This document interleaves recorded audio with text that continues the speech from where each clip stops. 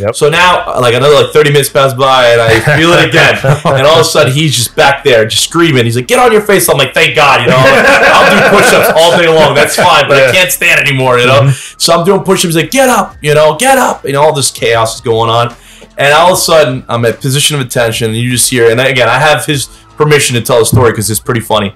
Um, he goes. What part of bend your knees and wiggle your toes do you not understand? And I go, sir, this recruit doesn't have any toes, sir. And he's like, what did you say? Whatever. And all of a sudden, I just feel like something just pull him from a distance. You know, you see him, then you don't. Yeah, you see yeah, him, then you don't. yeah. And all of a sudden, his just body just disappears, and I'm just sitting there like, sweat just pouring out my face. I'm just sitting there. I don't want to move. Like it's just dripping, and I'm just like blinking my eyes, hoping it just kind of falls off. And then I just see him reappear, and I, I'm sorry. And he's like- he's like, I did not know. Which you don't hear someone, you know, Yeah. a DI in the police academy You know, say, "I'm sorry." He's like, I'm sorry, I wasn't here.